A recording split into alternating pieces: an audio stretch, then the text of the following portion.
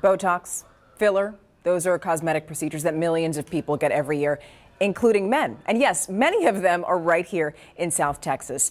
Tonight, you'll meet one who has been getting Botox for years. We'll also discuss how to be safe if you're considering a cosmetic procedure.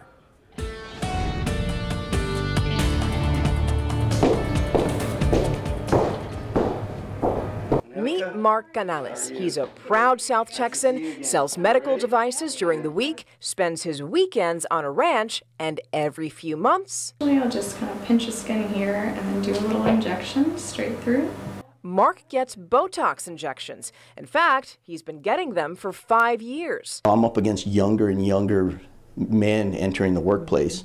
Um, and two, personally speaking, you know, is trying to get back into the dating pool. Botox is a medication that's injected. It can help with migraines and back pain, but more often it's injected in the face to paralyze underlying muscles. The purpose of doing that is to reduce fine lines and wrinkles on your face. You'd think this would exclusively appeal to women, but you'd be wrong. The American Society of Plastic Surgeons says 467,000 men got Botox injections last year, and that's up nearly 400% since 2000. Thank you for calling Halcyon Med Spa. This is Kim. How may I assist you? Hi, Kimberly.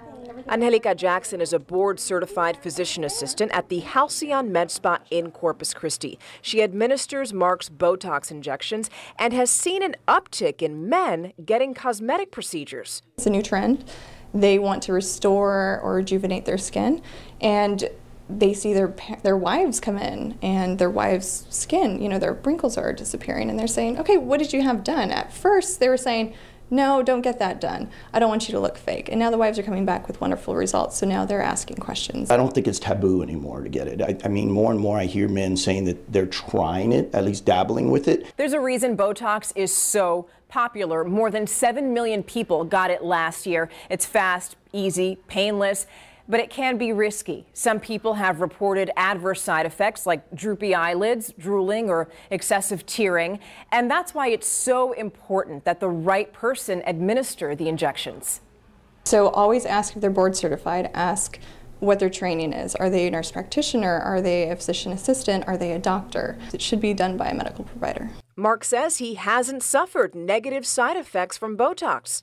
I personally feel like it's made a difference. You know, one, uh, no one ever asked my age, which is important, and I think that's a, maybe a testimonial to um, just taking care of yourself. As for whether Mark will continue getting Botox, as long as I can, and as long as I can see the results and and see the benefits.